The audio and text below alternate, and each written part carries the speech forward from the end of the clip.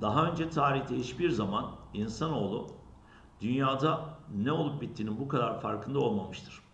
Televizyonlar, gazeteler, radyolar sürekli bizi bilgilendiriyor ve ilgimizi, algımızı açık tutuyor. Motivasyonumuzu, ilgimizi artırıyor. Sosyoloğun etrafındaki dünyaya olan ilgisi yoğundur. Çünkü toplum onun çalışma alanıdır. Aslında sosyoloğun toplumda ne olup bittiğini bilmesi gerekir. Sosyal dünyayı bu hale getiren şeyin ne olduğunu, sosyal dünyayı bu hale neyin getirdiğini, nasıl düzenlendiğini veya niçin bu şekilde değiştiğini bilmek ister. Böyle bir bilgi sadece büyük kararlar alanlar açısından değil, aynı zamanda sizin açınızdan da değerlidir. Sizin için de önemlidir. Çünkü bu sizin de içinde yaşadığınız ve yol aldığınız kendi tarzınızı ortaya koyduğunuz dünyadır. Pasaj şunu vurguluyor. Ne? Dünyada bugün ne olup bitti? Yani şurası arkadaşlar. Evet. Sosyal dünyayı bu hale getiren şey ne oldu? Sosyal dünya neyin bu hale getirdi? Nasıl düzenlendi? Ya da niçin bu şekilde değişti? Evet. Bu tür bilgi, böyle bir bilgi değerlidir. Yani çok büyük önem taşır. Herkesi ilgilendirir. Peki değerlidir. Büyük ilgi görür. Peki sadece büyük kararlar alanlar açısından değil sizin için derken arkadaşlar burada sizin için derken aslında arka planda kastettiği nedir arkadaşlar? Yani bu paragrafı her okuyan kişi için yani herkes için demek istiyor. Dolayısıyla biz burada geniş düşünürsek arkadaşlar denizi çok daha rahat yakalayabiliriz. Bir sonraki sorumuzdayız. Pasajda şu hususa işaret ediliyor. Nedir?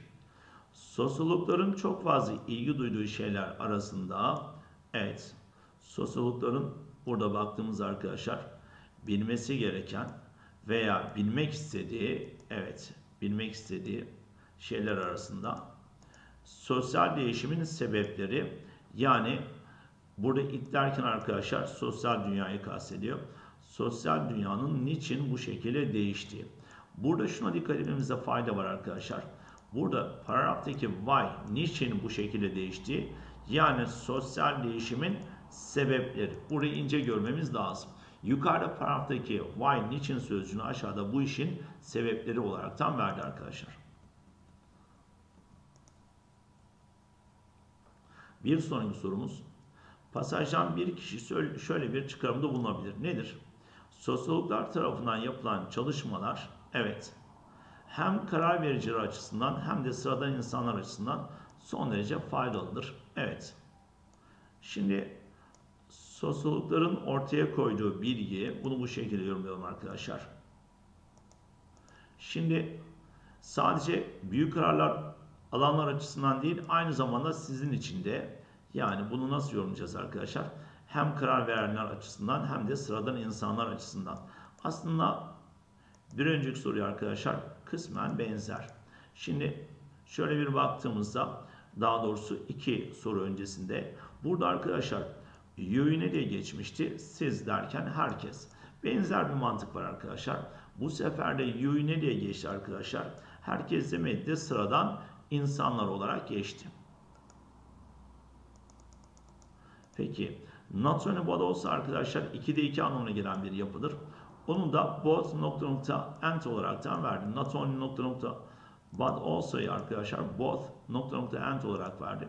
Sadece karar verenler açısından değil aynı zamanda sizin açınızdan da yani hem karar verenler açısından hem de sırada insan açısından işte burada valuable arkadaşlar ne diye verdi?